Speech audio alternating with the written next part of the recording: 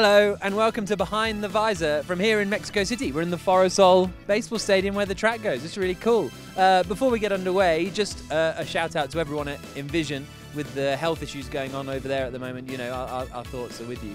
But now we are on to our questions. And our first question from Jack Pico, who's been asking this question for months. We've been ignoring him for months, but we're finally going to ask it. Uh, I'm just going to keep asking until you reply. Here we go. To all three of you, what is your karaoke song of choice? Ooh. Tequila. What? Song? Da- da- da- da- Song? da- da. Yeah, it's only one word. Okay, so give us a little. Da. Tequila. Very good. Exactly. Very good. That's it. That's it, Sam. I reckon mine after my performance in Toronto after the film festival has to be Mariah Carey. Heartbreaker. So, oh, so you've done this in karaoke? My wife will confirm that me and Mariah Carey and a few you and, a Mariah few Carey. No. Oh, okay. No, in Toronto after a couple of gin and tonics, all of a sudden I was the greatest dancer in the world and singer in the world when uh, when Mariah Carey came on. I'm not singing it Fair enough. unless someone gets me a gin and tonic. How about a margarita? How about tequila? How about? Tequila. Yeah, there we go. I don't really. I don't really. I think I have one. I did. I was in America the other week, and I ended up doing one um, by Garth Brooks called "Friends in Low Places," a country song. Oh wow, Never okay. heard of that before. Never heard of it. You won't have done. He's a big deal, Garth Brooks. Is he? I think he sold more records than the Beatles or something. no. No, genuinely, I think this might be true. Or only the Beatles and Michael Jackson have sold more. Something like that. Is this true? Yeah, he's one of the biggest selling We'll artists have in to the check world. that out. We will This see is from an here now, unconfirmed if it's true or source. not. Yeah. We don't know whether that's correct. Please Yeah. check out. We're either getting a flashing true or a flashing false. Yeah. And then a, and then a little bracket of the actual fact. Hashtag who is Garth Brooks. Uh, this is from Bobby Driver. That is a name. That is a name. They're all names. Bobby Driver. Oh, like a good name. Okay. is a name, yeah, like Scott Speed. Oh, yeah. Bobby Driver. I wish my name was Bobby Driver. I think I'd be quicker. That's two tenths right there. What would your dream name be? I like Scott Speed. Yeah. Scott Name, Speed, it's- Will it's Power, really Bobby name. Driver. Yeah. There we go. Absolutely cool. brilliant. And on the pole today is Bobby Driver. Bobby Driver is a hardcore F1 fan. of fan. course he is. Can you give me three reasons why I should switch to Formula E? Because it's not boring. Because it's 45 minutes of Plus one absolute of absolute action, and Formula One doesn't quite have the same amount of action. The thing with Formula One is that only six cars can win, basically. And in Formula E, if you are, let's say, P13 or start P13, you can still win the race. Hi guys, I'm a long-time fan, but don't have a question this time. But Great.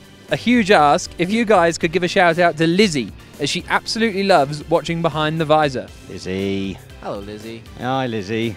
Say hi to Lizzie. Hi Lizzie, what Disney character best represents you? Actually, you're I've, I know yours.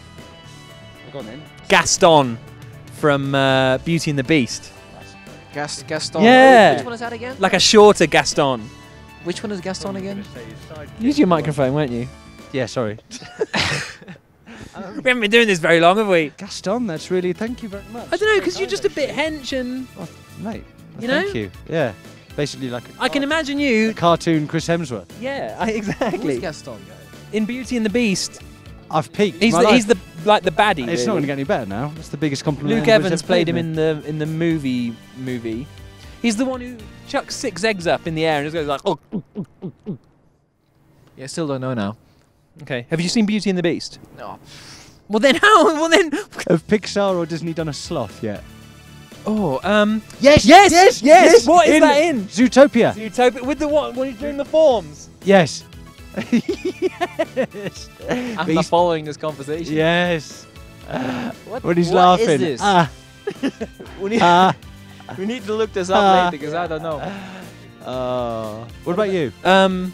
Zazu. Yes. Really good. Is that the bird? Yes. And voiced by Rowan Atkinson, who is my favourite actor of all time. Yeah. So there we go. That all ties together neatly. What is the worst Valentine's Day gift you've ever received? Probably when you got nothing as a school kid. Like there'd be all the cool, there'd be all the cool kids, and you'd you'd get letters, anonymous letters, and, and I'd be there in the class. I'd get nothing. Re- Were you not a? Were you not a? a No, I'm a late bloomer. oh, really? I'm a late bloomer. Yeah, I'm an ugly duckling that turned into a swan late in life. I can see that. I'm like Can we stick up a picture of his Formula BMW days? Thank Oh, that was what? Shocking. That, that, that was what? No. 2000? 2004, 2005. Man, I was still in go karts back in the day. Are you doing anything for your lady? Well, I can't really say. Uh, Valentine's Day will have happened by the time this goes up. Or will be during it. Is it? Yeah. Yeah. Uh, then yeah. Oh, you've you got something planned from afar. Yeah. Whoa, bird. All sorted, mate. It's under control. Bird did good. On the theme of Valentine's Day, Jago has made a card for Sam and Robin to give to each other and wants to know what you think. It's called You're the Zwan That I Want. Are you ready? Yes. Look at oh, that. Oh, This is yes. This is great. Yes. So, oh my God, There's one that I want. Yeah, there's one That I Want. that is super. With Antonio. oh, yeah. Antonio. He's Tony. He's jealous. He Look, he's he's, looking jealous. jealous. Yeah. Happy Valentine's Day, mate. Happy Valentine's Day, man. Right, now finally, Alberto Longo was on last time out, and everybody's been saying you got to have Antonio Felix da Costa on. He still can't be bothered to come on the show, but he has sent this video message, okay? Oh, this is new for me. So, Robin, this is not actually a question. It's more, I just want you to speak about this. Uh, you know, that time where I was on the autograph session in Zolder and you rocked up in your road car. So, first of all, talk about your road car. Second of all, you have to explain how late you were and what result you got after that. Cheers, man. Firstly, clearly, that is not Da Costa somewhere in the paddock. Where is he? That's an, do you know where he was? That's an amazing place. Yeah, he lives an exotic lifestyle. Unbelievable. But here we go then. So talk about your. yeah. What's he talking about? So we were doing both GT3, Lopez Sprint that weekend. I think the autograph session started at, I don't know, 10.30 in the morning or something. Way too early. Exactly. And I slept at home because it's only a half hour drive uh, to Zolder. So I came up with uh, R8 I had back in the day then, blue one. And the autograph session was already ongoing when I just drove past everyone. Well, every, everyone was sitting behind the desk doing autograph session. I just drove by with the window down. and they were all looking at me like, what the hell? So were you in, was there an empty seat where you should have been sitting? No, I parked the car in front of the truck, my truck, Yeah. and uh, obviously I was quite a bit late.